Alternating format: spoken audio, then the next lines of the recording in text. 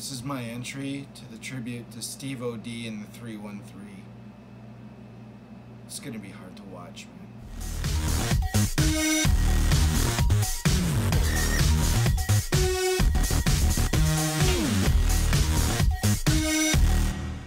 Hey guys, welcome back to the bench. Today we're going to be doing a tribute build. It might be a couple of parts to Stevo-D in the 313. If you've been around the RC YouTube community in the last couple of years, at least, then you know who Stevo-D and the 313 is. And um,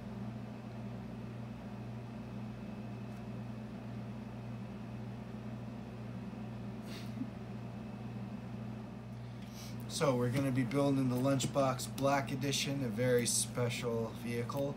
Um, I'm going to do a custom paint job that I will reveal at the end of the build. So uh, without further ado, let's open this up and see what comes inside the box.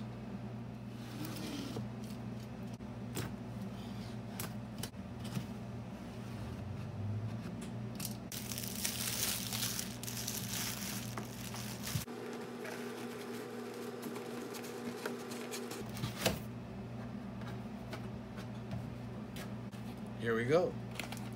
So the black edition actually comes with an electronic speed control, good to up to a 19 turn motor.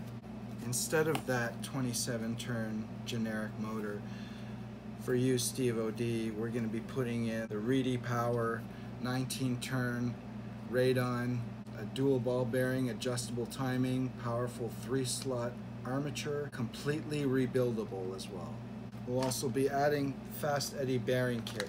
I'll be putting in a generic 25 kg servo, plenty of torque for this vehicle.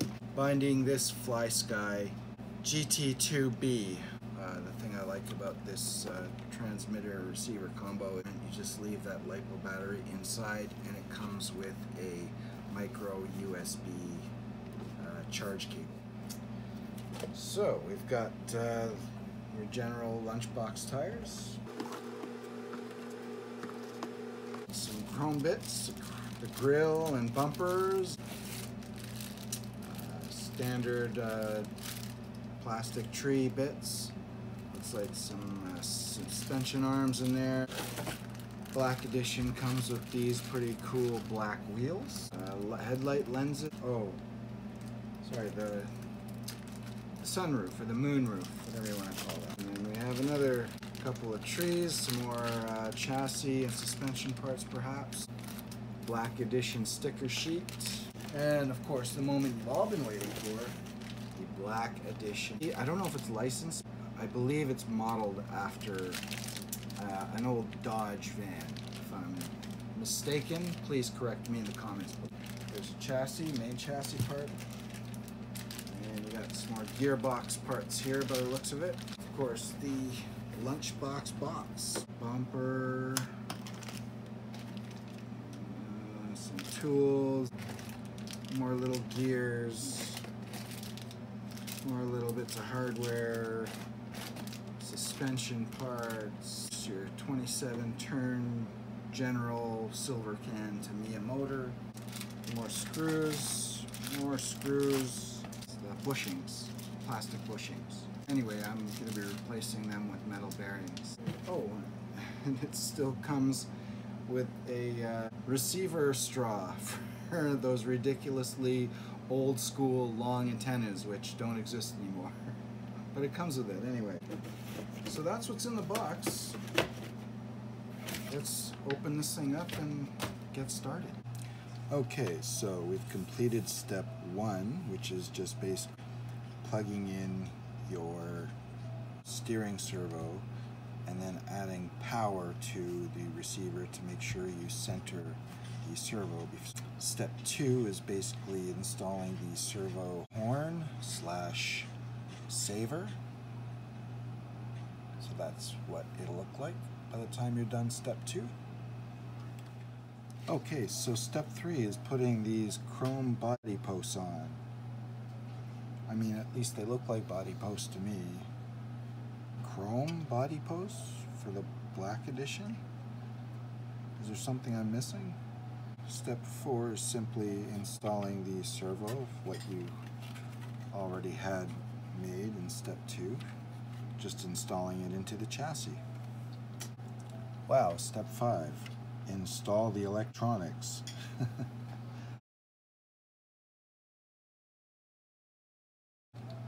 okay. So if you're following along and you're building one of these as well and you've completed step five, then hopefully you have something that looks sort of like this. And it wasn't really clear where to put the receiver, so uh, I just figured the spot next to the ESC looks great. So on to step six. We're gonna put this thing aside and get what we need for the start of building the gearbox slash axle. Wow, they don't uh, waste any time getting right into the nitty gritty. So I've got everything I need for step six, start putting it all together. This rod here, which needs to be greased, and so does the gear that it goes through.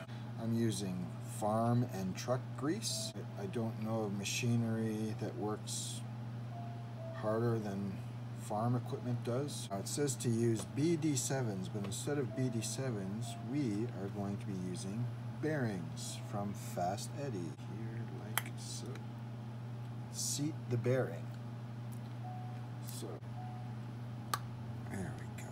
Now we're going to put the oil cap on. It's this little plastic piece here. One side goes over the little nipple that sticks out, the other side gets the screw. And that just about does it for step six. Step seven. Uh, instead of the BD7 plastic bushings, I'll be using bearings. And instead of their metal bushing, I'll be using a bearing for that as well. Once again, another one of these. We're getting it all greased up. This side's going to get the spacer. This bearing goes in here. I'm probably not showing the camera, am I? And then this bearing goes in back here. And this bearing goes in the front. Now we're going to get all greased up. It's so silky. Back around before this bit. Grease up the threads in there. And that's about it for step seven. Now, step eight, you're gonna have grease everywhere. And if you don't, you didn't do it right. no, really. Uh, this is all white gears. That's the diff. Putting this in between these two things that we just finished building. This. This. Three screws to hold it all together. That's uh, step eight completed. Put that aside. Step nine now is prepping the motor to connect to the axle. Step nine, it's basically the pinion, the connection to connect it to the gearbox, uh, making sure your uh, wires are nicely aligned properly. That's what it looks like with this kick-ass motor. On to the next, which is in fact connecting the motor to the gearbox. Let's get to it. So there you have step 10, which also included building and putting on this cool metal little wheelie bar. So I think we're gonna wrap it up here. This will be part one of this build. My tribute to Stevo-D in the 313. See you in the next one. Peace out.